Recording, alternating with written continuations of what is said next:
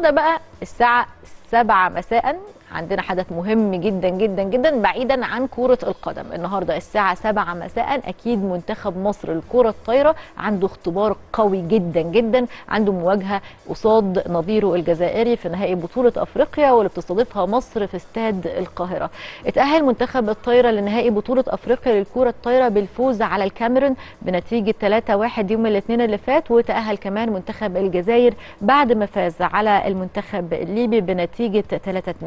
نجح منتخب الطايرة إن هو يتأهل لنص النهائي بعد ما فاز على المغرب بنتيجة 3-0 يوم السبت اللي فات في الدور ربع النهائي بعد ما حقق الفوز على كينيا بنتيجة 3-0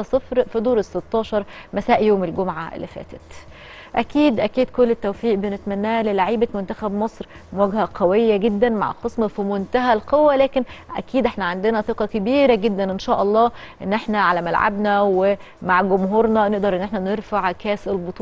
كل التوفيق بنتمناه لقائمه الفراعنة أشرف اللقاني أحمد صلاح رضا هيكل سيف عابد عبد الرحمن سعودي محمد عادل محمد المهدي محمد رضا محمد رمضان محمد مصطفى وأحمد يوسف ومحمد عصران وأحمد سعيد والمدير الفني أكيد للمنتخب الإيطالي فلافيو جونيلي